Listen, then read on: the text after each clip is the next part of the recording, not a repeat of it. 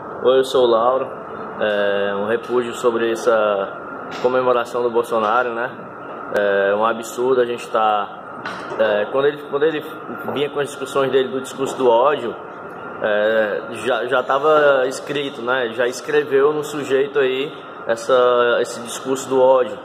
Então, é, quando ele falava e tinha esse discurso, as pessoas compravam essa ideia, né? E não tinha, e, ainda, e a gente falava do perigo desse discurso de ódio, que por muitas pessoas era visto como uma brincadeira e como uma inocência, mas quem tem um pouco mais de estudo sabe o que tem por trás dessa palavra, o que tem por trás desse discurso.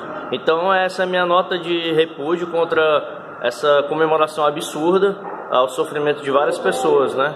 E querendo trazer de volta tudo isso é realmente uma falta de ética, né?